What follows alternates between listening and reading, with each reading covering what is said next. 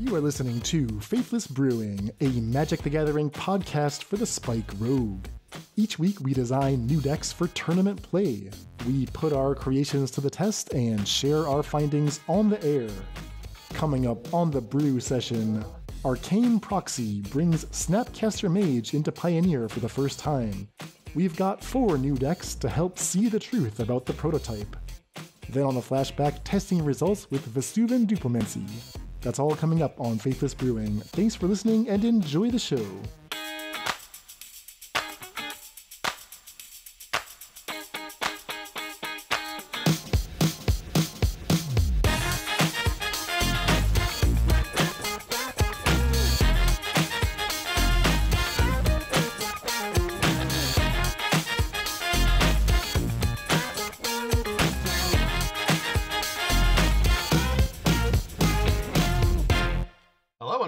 To another episode of Faithless Brewing.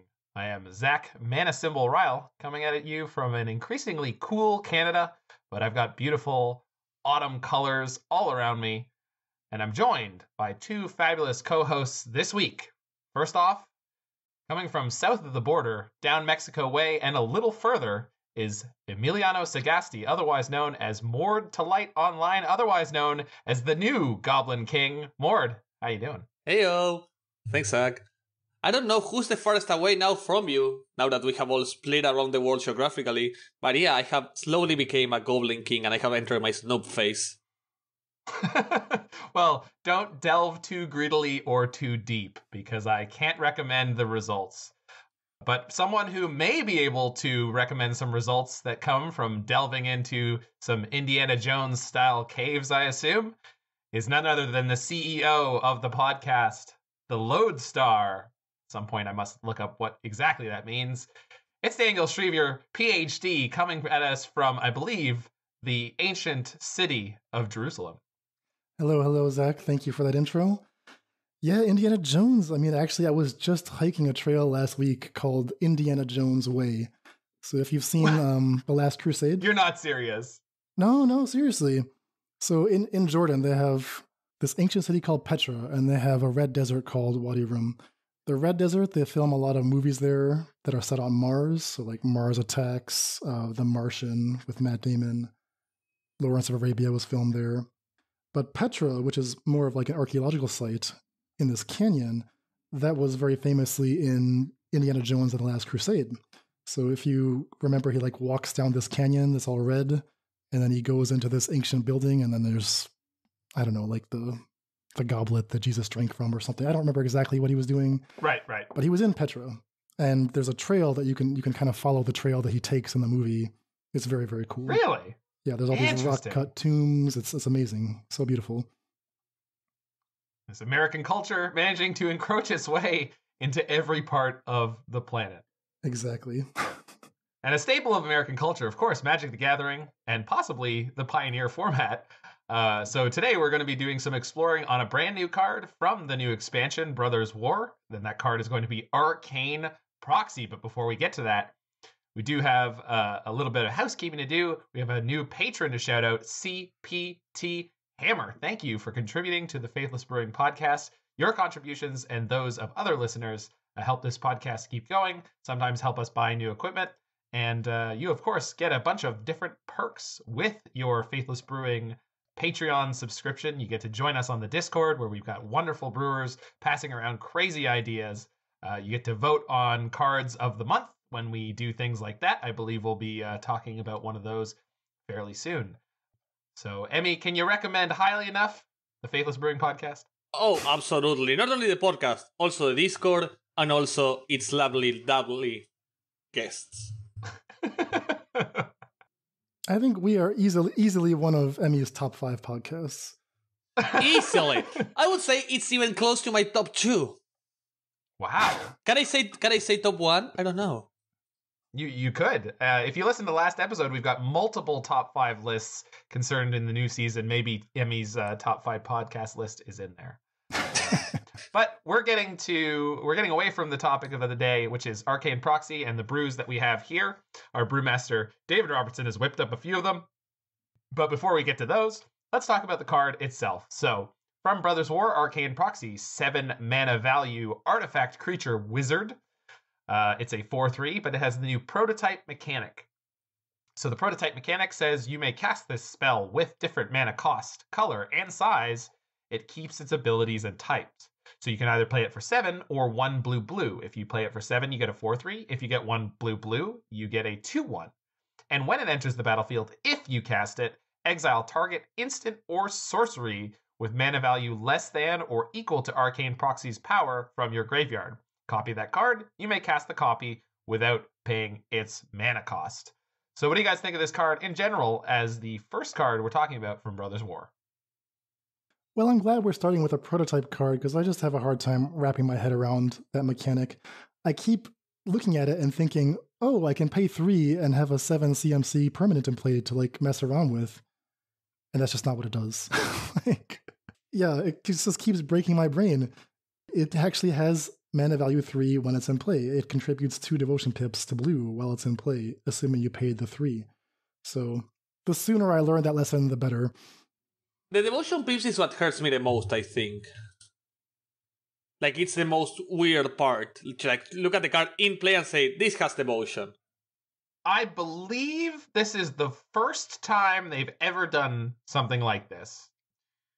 I am also not sure. We would have to go into the notes and maybe we have them here on the rules notes. When you have it on the stack, its mana cost might be one blue blue.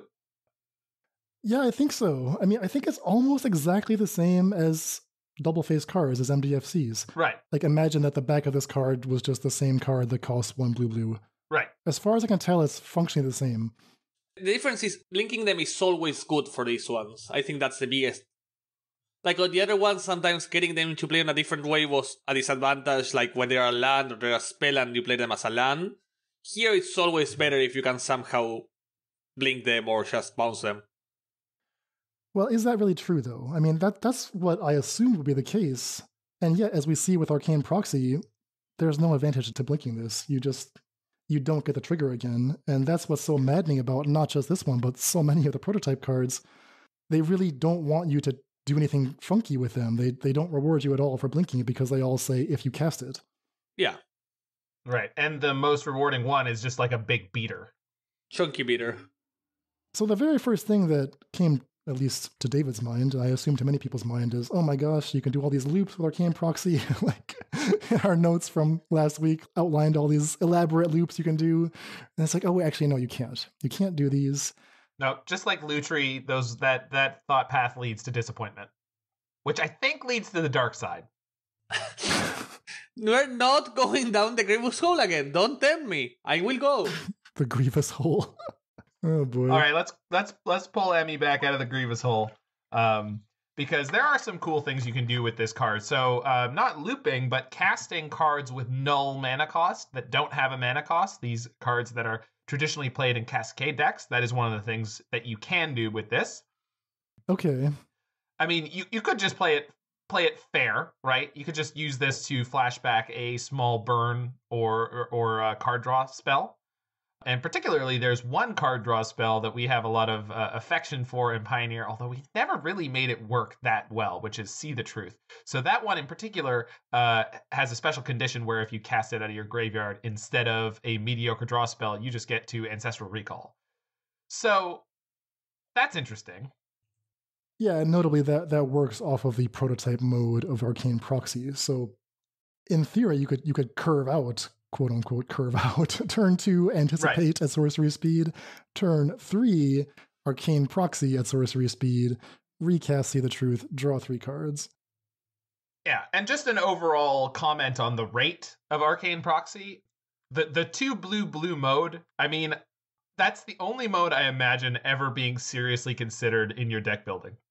The seven mana four three is a terrible rate to get a copy of a four or three CMC spell. I, I can't not imagine what that would be.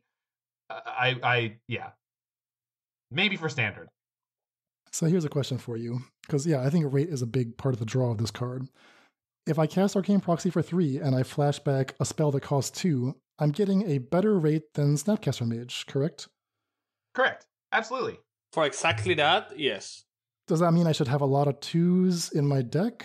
Because like the best spells are going to be like consider opt, fatal push, Thoughtseize, whatever. Is it good enough if I'm just flashing back a one? Maybe if we can just like if they're they could have to be in the majority sorcery, so we don't waste on the fact that we are not playing them at instant speed. Right. And I think that is a very pioneer question. Uh, in modern, the reason that I still will tell you that Snapcaster Mage is better than this card and will always be is because uh, the one mana spells are so much more powerful on average. And the two mana spells are more powerful on average, but you get to play things like Counterspell off of it, right? Snapcaster Mage has Flash. You can use it with Counterspells. Arcane Proxy doesn't have that flexibility. And in Pioneer, I, I believe a lot of the two mana spells are a good leap more powerful than the one mana spells.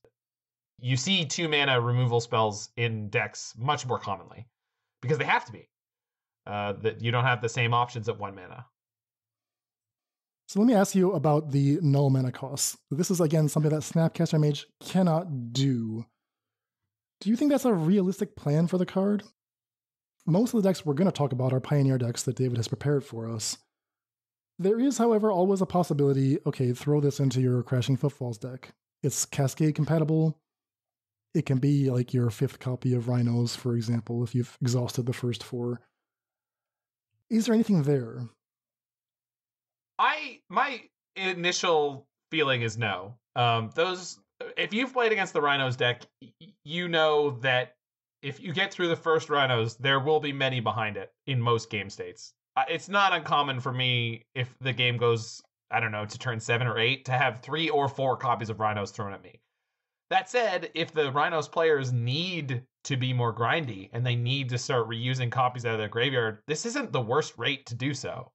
Um, so my initial response is definitely not for Living End, uh, probably not for Glimpse combo, Glimpse of Tomorrow, but possibly in Rhinos. It, it's not the worst idea. I just don't think it's going to get there.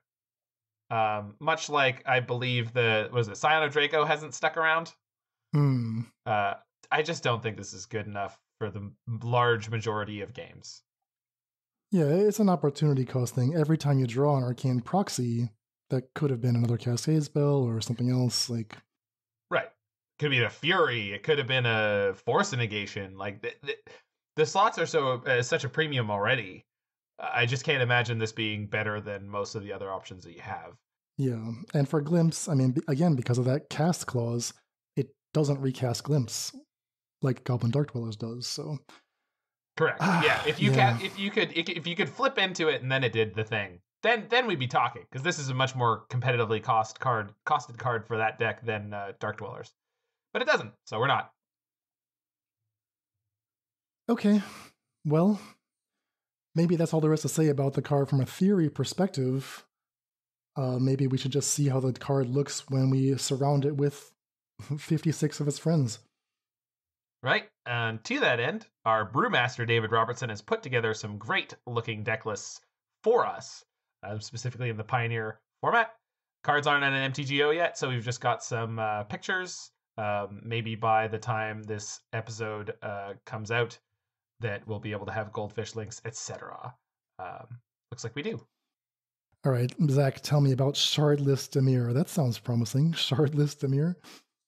Yeah. Okay. So uh, the opening lines of this deck have been constructed by uh, David because uh, we've got copies of See the Truth. There are t- uh, three copies of See the Truth in this deck list. So for those who don't quite remember its exact text, I'm going to have to look it up myself. But it's uh, one in a blue. I believe it's look at the top three cards of your library, put one in your hand, and the other two on the bottom. Correct. But if it was if it's cast from your grave or it's cast from anywhere except your hand, yes, you draw three. So the idea is we're going to put that in the graveyard and then cast it with Arcane Proxy. And we have several ways we can do that. Um, we have Ledger Shredder uh, in this deck. Now, there's no zero mana costs. So Ledger Shredder doesn't get it into the graveyard as quickly as you'd like. But what Ledger Shredder does do uh, is it connives when you play your second spell on a turn. So there's a bunch of one mana plays uh, available in this deck. Fatal Push, Thoughtseize, Consider, Cling to Dust. So you play one of those on one, you play the Ledger Shredder on two. It won't connive then, but when you play your Arcane Proxy on three and play your one drop cost card again, uh, you will get a connive there. So that's a fine card that uh, at that point can dump a See the Truth into the graveyard. Then we also have the new card, Evangel of Synthesis, which in part is a blue black 2 3. And when it enters the battlefield, you get to draw and discard. Then you can put the See the Truth in, and on turn three, draw three cards. So that's your uh, most powerful See the Truth line, is to uh, get a turn three Ancestral Recall attached to your 2 1. Yeah, I think that's actually probably the most aggressive start for the deck. Turn two Evangel, yeah. discard See the Truth. Turn three Arcane Proxy, draw three cards, and that also satisfies the Evangel's condition to give it plus one plus one menace. So you're up yep. a bunch of cards. You've got a three three menace attacking. Like you're not an aggro deck. You're, I think you're still mid range, but you're doing well. I'd call this blue black tempo. Yeah, I'd call this blue black tempo yeah, it's it's definitely something you can do. Um, if you were to put in, uh, was that Rona's Vortex, the the bounce spell that you kind of like that uh, is is like can mm. kick hmm. into a Vindicate. Yes. Um, you can cast that with Arcane Proxy and pay the kicker cost. It will cost you a total of six mana to get that Vindicate.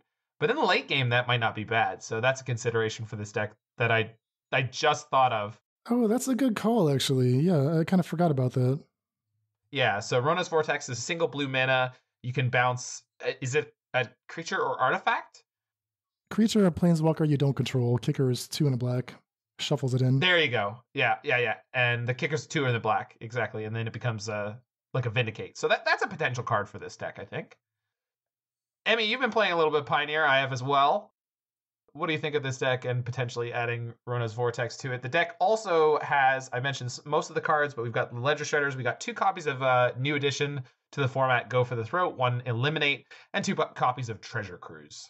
All right. So we got all the bangers in this set of colors. My biggest problem I see right now is what's our win condition, which I hate saying because I really don't like win conditions.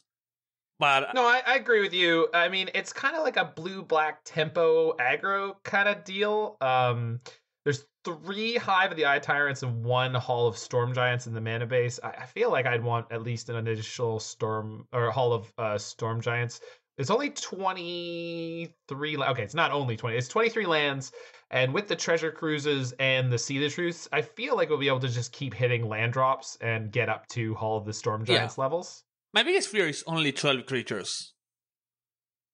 Well, it's 12 plus the hives. I mean, yeah. Yeah, and the hives, and the, and the hole. Maybe a second hall fixes all my issues. Hall is such a good way to close games when you're ahead. Yeah, but I, I, playing these blue black decks in the past in Pioneer, uh, I definitely have had a lot of games where you're like, yes, I got all their like all their resources are done. How the hell am I killing them? And it just takes you forever to do it. uh, yeah, I can see that happening here the win condition here is drawing three cards a bunch of times. So yeah. it's two treasure yeah, cruise, exactly. three see the truth. We didn't talk about founding the third path. David has put four copies of that here. Oh, I completely missed that. Yeah, so that's a saga that also has a kind of Snapcaster Mage ish uh, part to it. Yeah, it's even more. It's even more Snapcastery. That's also going to help fuel our treasure cruises, and it also can cast See the Truth. So that's an excellent um, kind of uh, rule of eight thing on uh, ways to cast see the truth. So let me tell you something. If you want to draw cards, good golly oh my, is this going to draw you a lot of cards? This deck. The thing this deck does the most is draw cards. I can see myself milling out by play. In, like if you play a league of this, I can see one game that ends up with you just oh yeah milled. And it really reminds me of fond memories playing a Mazemind Tome with oh, what's the card from War of the Spark? Which one? Anyway, there's a card that removes counters from things to draw draw cards. Um, Soul Diviner. Soul Diviner. Soul Diviner, the two mana two three. Yeah, yeah, yeah. This reminds me of Soul Diviner. That deck had a lot of trouble killing people, but good lord, did you draw a lot of cards. So, founding the third path, that's really interesting. Um, I don't know how I feel about that card still, but I mean, it makes sense. Like, it works with See the Truth and Treasure Cruise. I don't know if I need all four copies, but yeah, I think this would be the question in my mind as I test this deck. So David drew this up to be like the clean, sleek version. He actually has specific notes here. He says, "Don't try splashing into green. Just just play clean two color mana base. You're very good at having three power creatures in play. You're very good at drawing three cards. you are relying heavily on the fatal push go for the throat Thoughtseize package to like solve all your problems and you know rebuying them with arcane proxy as needed and it's entirely possible that like once you actually get in the matchup you'll find that you don't have a broad enough range of stuff to actually win the game. But in theory land i mean this is a beautiful deck and i think it's a great starting place. I have a crazy thought that I want to add some copies, like two of um, Cityscape Leveler, oh god. Just because I feel like you're. I just feel like you're gonna get enough mana that, like, as like, just because you're gonna be drawing three all the time and just hitting your land drops, and eventually you're like, here's my eight eight trample that vindicates something. well now i'm okay what if instead of that we play right. the um the 3-1 the blade whip transmogrant instead because that comes back pretty Yeah. cheaply doesn't ask questions Yeah, that's true. So, uh, hold on, let me get it because you actually had the, the Razorlash t- Transmogrant. So you That's had the name Razor wrong Lash, in the last sorry. pod, podcast. No, it's it's fine. I, my I, I mistake didn't my mistake yeah No, no, it's fine. So, uh, Razorlash Tran- Transmogrant, two mana for a 3 1 that cannot block, artifact creature zombie. Four black, black, return it from your graveyard to the battlefield with a plus one plus one counter on it. This ability costs four less to activate, and if an opponent controls four or more non basic lands. That's a much more reasonable thing uh, than what I was suggesting. Um, so I don't like it as much, but yes, that that is a good uh, threat to add or something that pops back out of the graveyard, right? Yeah, a recurrent threat. Yeah, you're Yes. correctly identifying that you do loot so much, it's almost free to play one or two cards like that. Right, right. Absolutely. Um I just want to go big, but I I understand that this is the much smarter choice. Well, Zach, if you want to go bigger, maybe you need to go out of Dimir. Maybe you want to look at this next brew. So David has also given us Oh, baby. An Izzet version. I love Crackling Drake. So this is a variation on uh a Drake's deck. This got somebody uh on the Pro Tour actually. Uh there was a Oh, Drake's deck in? Pioneer. I can't can't remember who it was. I can. Some- I would never remember. Yeah, some. human being. I don't know. Um Seemed like a good guy. It's esports doesn't count.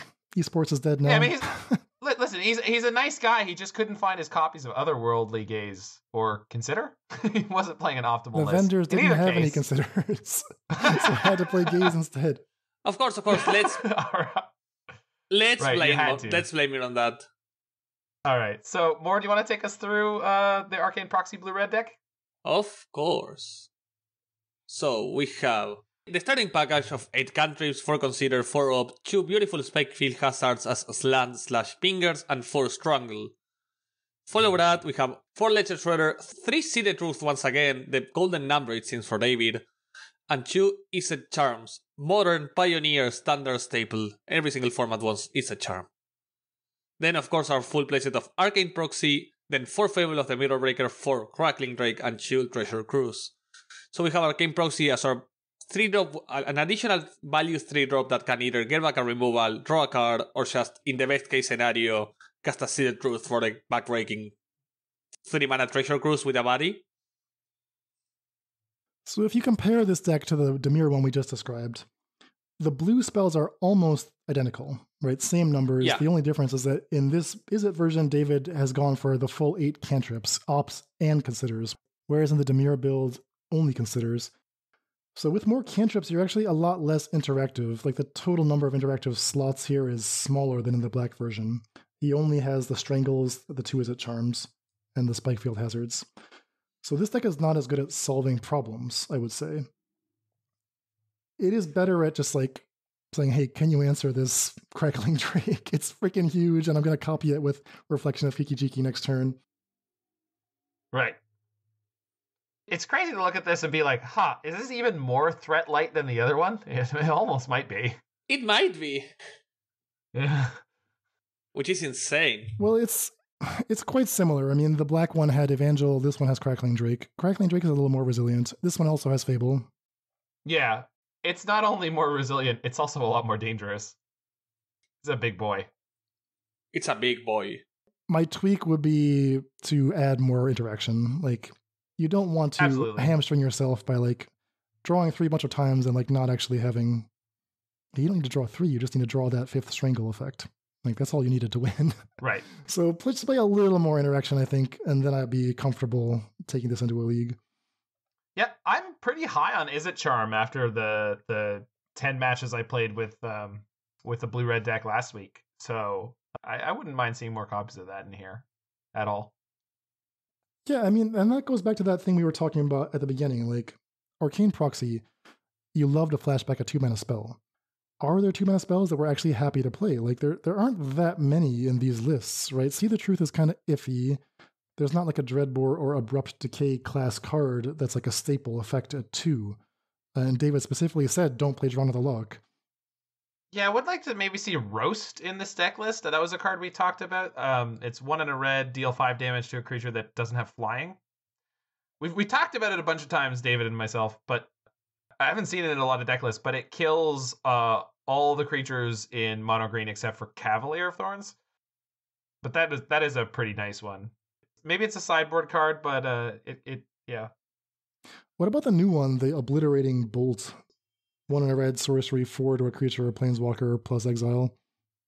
Oh yeah, or that that that would be nice. Uh, I mean, I, I don't, I'm not exactly sure if that's the card you need, but Or Fires of Victory. yeah, Hmm. Food for thought. So, yeah, to be explored. Yeah, fires of victory. You can you can kick that in theory for six mana. Yeah, yeah, Hmm. exactly. So that could be a nice option.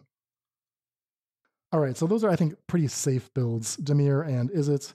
We're just trying to flashback, see the truth. But uh, let's let's get a little more risky. You know, let's spice it up. Yeah, these are respo- These are responsible, honest brews. These ones get up for their nine to five, and uh, they're working every day. But but let's let's see what the crazy staying up late. But you Yeah. know, people are here to also listen to some really bad ideas. Oh yeah.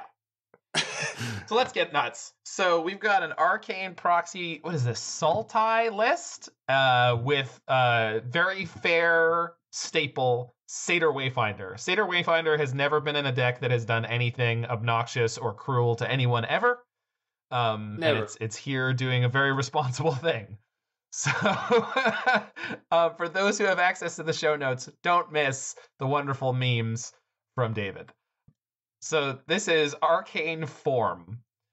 It's a Sultai list, as I said, blue, black, and green. So we've got four Fatal Push, two Abrupt Decay, four Grizzly Salvage, four Neoform, four Satyr Wayfinder, one Champion of Wits, three Arcane Proxies, and one Glasspool Mimic, one Blood for Bones, one Kalitas, one uh, another four drop Sheoldred the Apocalypse, and one Ertai Resurrected.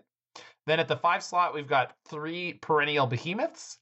We've got uh, at the six slot two Tasigur, the Golden Fang, one Noxious Gearhulk, one Vorinclex Monstrous Raider, uh, and one uh, Dragonlord Silumgar. We've got one Koma Cosmos Serpent and one Titan of Industry at the absolute top.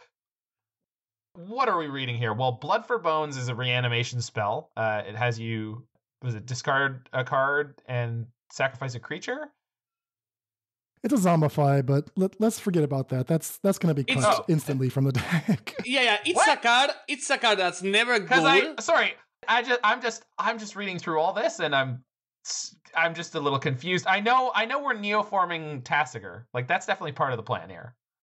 Let's focus on yeah the spells of the two slot because I was just complaining about how in those responsible decks we're just flashing back. Consider we're not getting max value on Arcane Proxy. Yeah. This deck is going the far opposite stream. Like these are high value two mana spells. it's getting all the greediness. Abrupt Decay, Grizzly Salvage, Neoform, Arcane Proxy flashing back a Neoform. Now you may be thinking, wait a second, wait a second. I thought you just said that that doesn't work, right? Because it's CMC is 3. And David is aware of this. We're not actually trying to sacrifice the Arcane Proxy. However, that is an option. So what you've got is you got these like little mini tutor packages at 3 to 4. So like if you do want to Neoform your Arcane Proxy, you have several 4 drops to choose from. But the line that is more common is actually with this perennial behemoth. So what we're gonna do is we're gonna like set up Mm. self mill. We're gonna grizzly salvage. We're gonna Satyr wayfinder. Get some junk in the graveyard. Eventually, we'll put perennial behemoth into the graveyard. what do we do on turn four? We unearth it for GG. We make a land drop from the graveyard, our fourth land drop. So we've gone card parity there. Then we cast a Neoform from our hand, sacrifice a Perennial Behemoth to get any six. So that's why you see this weird collection of sixes that Zach mentioned. Right. So we've got uh, Vorinclex, Noxious Gearhulk, or Dragon Lord Silumgar there as the payoffs. Vorinclex, very cute, will double the Neoform counter, so you get an 8 8 trample haste. I think that's adorable. You also have the Tasigurs there because maybe you just want to delve to a 6 drop and then Neoform the Tasigur into a Titan of Industry. Right. That definitely makes sense. Bunch of different possibilities for Neoforming. One thing that's so cool or cute is that during the process of self milling, digging for your perennial behemoths, you are very likely to also accidentally mill the Neoform. And that's great because Arcane Proxy just finds it right there. Like Grisly Salvage can find the Arcane Proxy and dump the Neoform in the graveyard at the same time. So it's all coming together. You have an interesting line. If you have a Satyr Wayfinder in play, then when you play the Arcane Proxy, you can Neoform the Wayfinder into a Glasspool Mimic or Champion Wits. The Glasspool Mimic can copy your proxy, and then you have the the, the full set. Only one cast. No, I know. I, I'm not saying you're going to get another thing to cast. I never was saying that. It was going to give you, but this isn't. This doesn't actually end up being interesting because then you get a clone of a two one for one blue blue. You don't get the seven cost. Okay. Oh, okay. Yeah, it's devastating that you just don't gain anything from neoforming into an arcane proxy. But I think that's why the champion of wits is there, so that if you do need to do that line, yeah, that's why the Glasspool Mimic confuses me in this list in general. I, I think it's just because it's an MDFC, like it's just there because it's fine to play. Um, but that probably should be the fourth proxy. Probably, I don't know. I think it's a fairly low cost part of your mana base. I mean, if you already have something valuable in play, you might want to change a Satyr Wayfinder for a Glasspool Mimic to copy something else. I'm just pretty sure I want this deck to be playing four proxies, not three. I mean, apart from being the card of the week, do you feel like it's like the strongest card in the deck, or is it just like a role player? It's not the strongest card in the deck, but it's just I feel like once you you have all these things that mill you, and I want enough of the payoff. I guess is my because if you have a perennial behemoth and a neoform in the graveyard and a proxy in your hand, that's a five mana combo turn.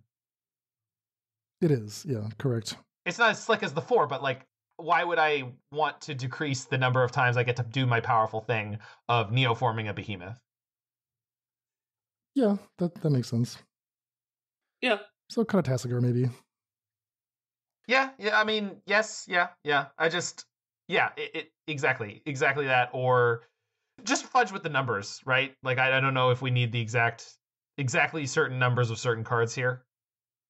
We probably don't need two sevens. We should just pick one. I think one seven is enough. Right. Right. Is it like? Yeah, I mean, most of the games you're just gonna win with either Koma or Tyrant.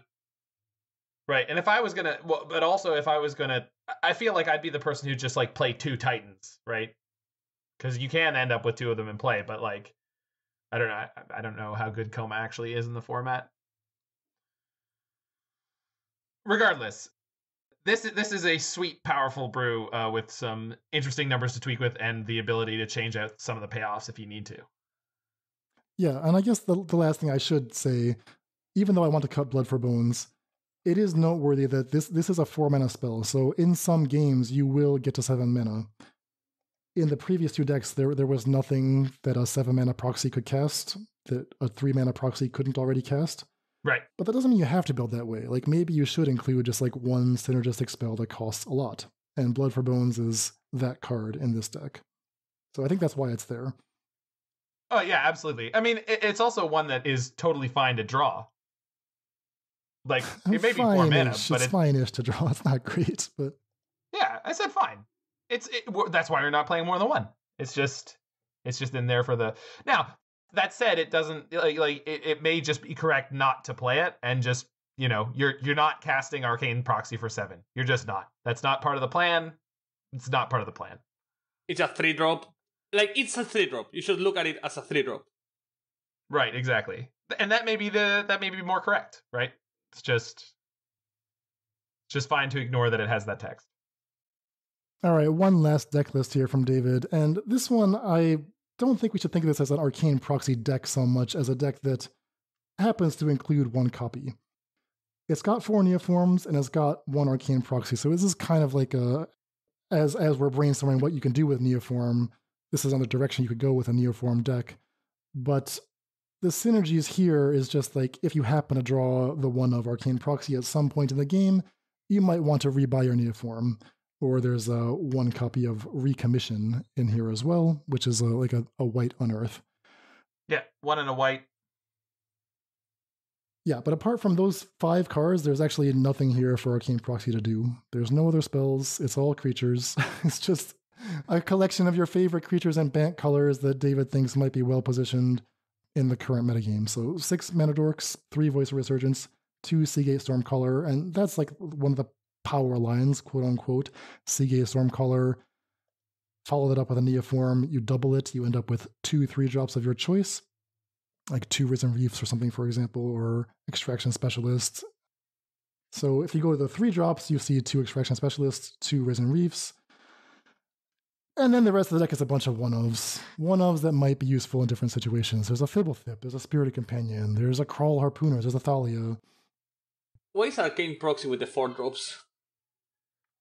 I think it's just there because it's not part of the chains. Like you never want to Oh, okay. for it because that doesn't do anything. It's just like a card that you could play.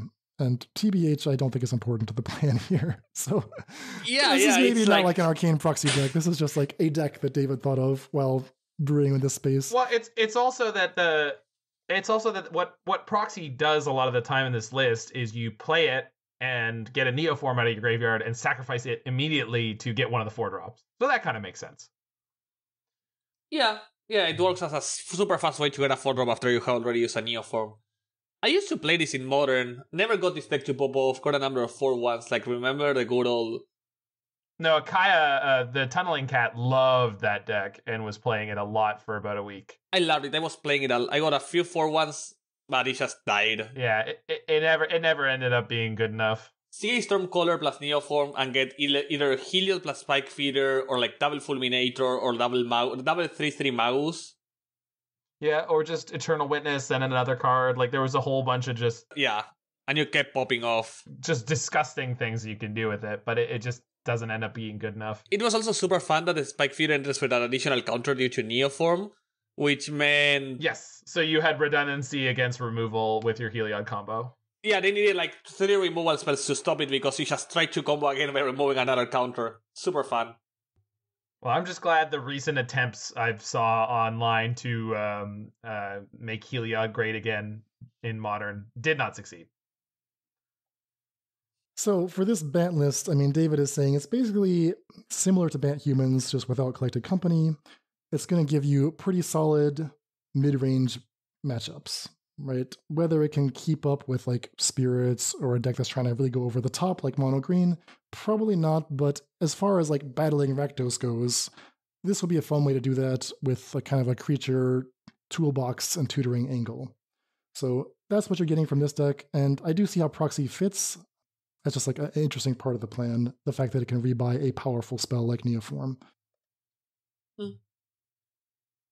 All right, so that's four ways to brew Arcane Proxy and Pioneer. What do you guys think? I mean, are you sold on the card yet? Are we leaving stones unturned? I think I'm mostly sold. I'm, I'm trying sold on trying the Sultai list because it looks so wheat. Yeah, I think it's the Sultai list for me. Just the complete insanity on it. I think that, and if I was going for one of the more reasonable ones, I think I like the Dimir a lot more. Just feels like I'm doing something different. I don't know. The the Izzet version has Crackling Drake, and Crackling Drake is so much more proven than any of the cards in that Dimir version. Um, Oh, exactly. But who likes playing proven cards? Sure, absolutely, and I, I I definitely think that like if you want to play See the Truth, now the truth has been seen because we've got Arcane Proxy and Founding the Third Path as ways to cast it that are you know not insane. I still don't like Founding the Third Path that much, so I, I don't know if you ever should play the full four copies of it, but Yeah, you, you definitely don't have to. Like, I, I will probably start Yeah. with the Dimir one myself just because, you know, I, I ranked Evangel number two as my most impactful Pioneer card, so got to put the reps in to like make that happen. But you don't have to play anything nonsense. Like I, I think the draw to that deck to me is it's so clean. The mana curve is beautiful. Everything's so efficient. Apart from like founding the third path and see the truth, like everything, everything you do is It's on power level. yeah, exactly. So let's trim some third paths and just put in I don't know more removal or something. The problem I have with the founding path list is the fact that you have the See the Truth only as a 3 of, and the huge advantage of founding is actually See the Truth. But it's also a huge advantage of Arcane Proxy. Like, you're trying to leverage two cards to level a bad one that you're only playing three copies of. So go to four. Right. So like commit to the nonsense. Play play the fourth, see the truth. Yeah, and maybe go down on the foundings to replace that because you have the Arcane Proxy to trigger it off. I agree. Yeah. All right. Okay, well, we will report back uh, next time once the set is online and we've had a chance to actually test these.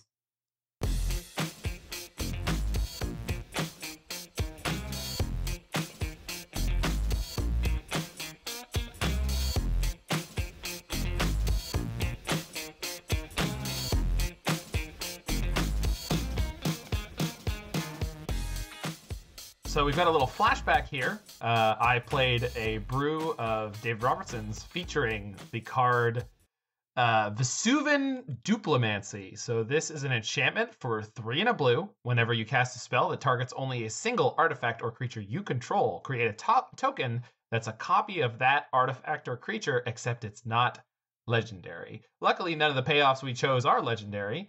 Um, so what are we doing here? We're playing a deck that I'm going to drop the link for into our show notes for my compatriots here.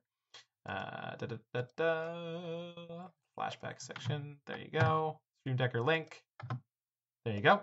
So uh, we're playing uh, Vesuvan Duplimancy, and the feature cards of this deck, I would say, are Goblin Dark Dwellers. That's three red red for a 4 4 menace. When it enters the battlefield, you may cast target instant or sorcery card with converted mana cost three or less from your graveyard without paying its mana cost. If that card would be put into your graveyard this turn, exile it instead. And four co- or two copies of Glorybringer. There's also one in the sideboard. So the basic uh, plan with this deck was over the course of the game, you play some Spikefield Hazards or Fiery Impulses or Braids or Izzet Charms. All of these are removal spells that deal less than four damage. So that when you get your Vesuvan Duplimancy onto the battlefield on turn four, and then you play Goblin Dark Dwellers on turn five, for each targeted damage spell in your graveyard, you will end up with a copy of Goblin Dark Dwellers. Plus, you'll get one more spell to cast at the end of that. So, if you've got three cards in your graveyard that can target the Dark Dwellers, you're going to end up with four 4 4 Menace. Uh, we're also playing some Kiora Behemoth Beckoner because uh, our combo involves cards that have four power that will draw us a card whenever they're copied. And we've got four copies of Bonecrusher Giant because not only is it a three mana, four power creature, but it's got the Stomp half, gets a double as removal. It's a great card. Yeah, it's a well, it's a great card in the format, but it's also targeted removal that you can use uh, to start the chain. So if you have a Glorybringer or Dark Dwellers in play, you can cast Stomp on it and get a copy. Glorybringer is especially powerful in this deck um, because yes, it doesn't get you don't get free copies like you do with Dark Dwellers, but you get copies of a 4 4 flying haste that has uh, exert to deal 4 damage to target creature, which is pretty powerful right now. So uh, we've also got Fable the Mirror Breaker in this list, just because it's one of the best cards in the format. And we've got two Hall of the Storm Giants in the mana base that help us uh, beat up on opponents. So I took this into the leagues. I played two full leagues. The first one ended up being a little bit disappointing, and I wanted to run it back. Um, and overall, I will say once again, I am not the most experienced with the ins and outs of the Pioneer format right now, and I made some spectacular misclicks um, that lost me two separate games. How bad were them? They were very tight. Well, one of them was failing to exert, exert Glorybringer. Oh no. Um, I was I went attack with all, and for some reason my brain just thought that Glorybringer would just exert itself. Um, but he was feeling lazy, so I get it. he didn't want you. Right, you have to tell him specifically to do that. Uh, and I forget what the other punt was, but it was something. Oh, it was. Uh, I I played a Spikefield Hazard instead of as a land instead of casting it, um, because I would have had two Glorybringers, uh, and I ended up with only one. And also the fact that I played it as a tap land meant I couldn't play the two mana spell in my hand. So that that hurt. Yeah, Magic Online mistakes. They happen sometimes. Anywho, uh, overall, this was it was pretty good, and it was able to keep up with the format at large. I felt a lot better about the synergistic pieces than I did uh, with the red uh, red blue Rielle deck from a couple weeks ago. With the big difference being that um, Vesuvan Duplimancy, even though it is like kind of a four mana do nothing, um, this deck has a lot of rummage effects, so you can always toss it if you don't need it. And on top of that, it, it, doesn't just die to all the other removal in the format. That's the biggest problem with the card like Rielle, is that, yeah, her effect is powerful, but she's an 0-3 creature. Everyone is ready to kill 3 toughness creatures. Not that many people are ready to kill your enchantments. Yeah. The downside of this deck was the usual downside of a deck like this, where sometimes you drew too many of uh, one piece without the other. Uh, although luckily, both Goblin Dark Dwellers and Glorybringer are just pretty okay cards on their own. Um, same with Kiora.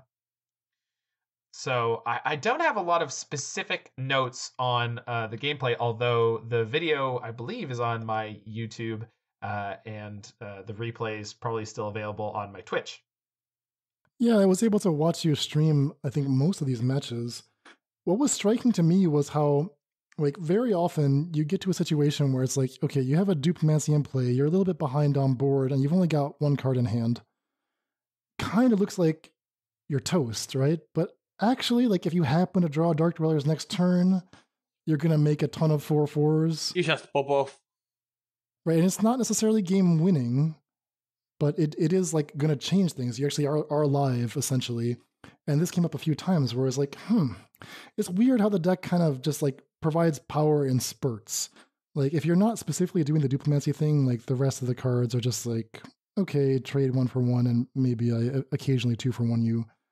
But like, yeah, the duplimancy thing is just like super powerful, but in a clunky way. Yeah, it's definitely uh this is this... powerful in a clunky way should be the slogan of this Discord. Super powerful, but in a clunky way of, of this podcast. Yeah, exactly. Of this, oh, yeah, of this podcast. Super powerful in a clunky way. I completely agree with that. So is this going to be a meta changing meta player uh, in the pioneer format? No. The xerox core of just playing like eight plus cantrips and treasure cruise is is it is so much better than what this is. Uh, but this can keep up with the format and that's really exciting. Like if you want a cool brew that's really fun to play um, i highly recommend taking this one out because it is a wild good time and you don't I, I didn't feel like a dog in most matchups. It was when it got to that grindy mid game section uh you just couldn't you couldn't keep up. Yeah i mean specifically the issue was at least as i saw it was that like some decks in pioneer are just going to keep getting bigger and bigger and bigger whereas this deck kind of tops out at a certain point. Like you you ran up against mono green and the Keruga Fires deck a couple of times Right. You're able to like keep pace on the early turns, right? There's tons of interaction via strangles and abrades and Izzet charms, but that doesn't win the game, doesn't end the game. That just sort of extends it into that dangerous middle section where it's like, okay, you're threatening to make some 4 4 menaces at some point, but they're also threatening to just go off with Kenrith or with, uh, you know, just the full Nykthos Karn Kiora combo. Like, right, exactly that a couple times they did that. They did that to you like one turn before you were able to do your thing, and you can't really stop them. Like once you've committed to all these kind of fun four and five drops as your top end, you really don't have the slots left to stop the opponent from doing their thing. Mm-hmm. Yeah, I would say that uh, Keruga Fires felt like it was. If you like the style of this deck, but you want something that's more competitive, that just felt like a su- like infinitely superior version of kind of what we were doing in that they have like some soft synergy pieces. Like they've got like Vesuvan Duplimancy and Fires of Invention I think are kind of a reasonable comparison in that they're these clunky four drops that on their own really don't do anything. Um, but it's what you're able to team them up with that makes them you know worth playing. And um, the way Fires affected their game was insane compared to Duplimancy uh, on mine most of the time. If you had the right setup, Duplimancy plus Goblin Dark Dwellers was better than what they were doing, but it required a fairly specific, uh, you know, play pattern to have happened before that point. they had a lot better fail states. Uh, with Yeah. uh, I would say they had a much higher floor. The worst their deck could be was way better than this. My biggest fear was the game we I think we were on stream and we lost to Monogreen where we just never st- the moment they started popping off, we just never stood a chance. Yeah, and and that happened multiple times. Monogreen, you have some interaction for their early game, but it's just they're it's just too easy for them to go off. It's so easy. Deck is insane. It's crazy. It's crazy now uh how resilient that deck is between Cavalier of Thorns and Old Growth Troll. It's it's it is the biggest problem with Pioneer in my opinion is the mono green deck. It is not they are not playing the same format as everyone else. And you did win like a match and some games against Mono Green in the in the times you Yeah, faced it, but Absolutely. th- those are games that go to plan, where it's like, okay, they they play an elf, I kill it. They play a Kiora, I counter it. But not Yeah. every game happens that way. Is if they at all have anything going on, like in the middle turns, you just can't Yeah. stop them. Like you can't stop them from resolving these things. Nope. And once they start going, it's insane how fast it go it, it, it goes out of control. It takes about one turn. Exactly. Yeah. Yeah. So, um, you know, but not not a bad result at all. Not a bad result at all. I, I made some, you know, medium sideboarding decisions at some points. I will say that like two Narset in the sideboard for the matchups they were supposed to come in didn't feel like enough. But I also, it, it's tricky. Like you have the, the in a lot of the matchups, you have these like clunky five drops, but you kind of need them around to win like your deck's not very good at winning if you cut a lot of your you know synergy pieces at all so that was tricky Yeah, that was interesting. Like I remember thinking, well, should you leave in all the red removal because it doesn't have great targets in this matchup? But if you cut them, you no longer have the Dark Dweller combo. So yeah like it's it's tricky. Yeah, this is one of those. I mean, it's it's a common thing where like we come up with a sweet synergy package, but then it's just much easier for the opponent to disrupt us game two, and it's much harder for us to adapt because we don't have the same flexibility and like swapping slots in and out. right if you're only going to play against people playing uh creature decks then this is reasonable right it, it once you start running into things like phoenix uh we didn't run into any of the actual like spell based combo decks but those would have been a problem as well it's those are unsolvable matchups it feels like Game one against creature decks. B- best of one ladder. That's what this is for. this is the Mhm. perfect deck for your best of one ladder. absolutely cannot highly recommend this enough All right. Well, uh, glad you got to try it. I mean, David played two leagues and he had really promising results. He was dou- double four one, I Yeah, believe. double four Yeah. one. I think after your leagues, we're we're closer to that fifty percent mark now. But you know, like you're saying, you're you're just experimenting with it, just trying it out, dipping your toes in. So Sure. the truth is somewhere between. Yeah, it was a fun way for me to get uh, refamiliarized with Pioneer, which will help uh, as we come into Brothers War season for uh, Pioneer. And uh, we also came up with a great name for it, which was Dark Dweller Duplimancy. So that's always an important point. Shout out to Kilgore Trout, who always has the best names for his deck lists, uh, keeping us uh, as high as we can on our deck naming standards. All right, so I think that does it for our flashback on Vesuvan Duplimancy and Arcane Proxy, our first brew session of the Brothers War season. Absolutely excited to uh, check that card out and many others once they finally go fully live uh, with I think they're fully live on four days. is that correct we're trying to figure it out Yeah, it's, I think it's on the 15th. yeah By the time people are hearing this, it's likely out. Yeah, exactly. Hopefully everything has gone well and uh, escape cards are no longer broken Also, we have been getting more spoilers of the Shamstart anime, and there's an spectral sailor anime girl, and everybody's losing their mind. i i don't know what that is but okay I have no idea what you're doing. what? I just send it on stage because it's gonna hurt your boomer hearts. jumpstart anime The episode is over. We have wrapped up all of the, the topics. I know, I know. I just gotta hurt you before the end. And now we'll hear from Mord or whatever random thing Mord is. That's how is it works. learning. Okay. i just googled jumpstart anime and i seem to have gotten nothing All right, I'm just gonna cut this section. I don't know what we're talking Uh-huh. about anymore. Uh, All right, this is all cuts. Farewell, gentlemen. Always a pleasure. Always a pleasure. Thanks, Dan. Have a nice evening and see ya. Bye bye. see you soon. Deck lists for this episode can be found at our homepage, faithlessbrewing.com. And tune in next time for our testing results, plus a look at the Week 1 tech from the Brothers War. Support for this podcast is provided by brewers like you. Join the Faithless family and help support the show at patreon.com slash faithlessbrewing for Discord access, bonus content, and more. That's all for today. Stay safe, and we'll see you next time.